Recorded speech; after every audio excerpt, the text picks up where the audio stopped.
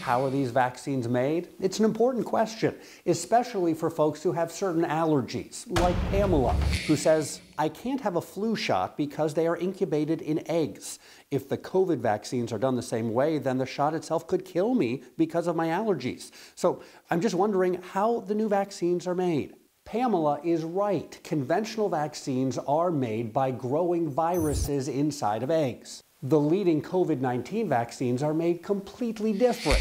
Our source for this Pfizer and Moderna, the two companies currently developing COVID vaccines that are likely to be the first widely available in the U.S. Both companies are using new technology called mRNA. It stands for messenger ribonucleic acid. Here's how it works.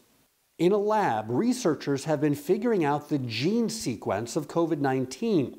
Instead of injecting you with a tiny piece of the virus, which is how most vaccines work, with mRNA, you would be injected with RNA molecules that actually provide instructions to your cells.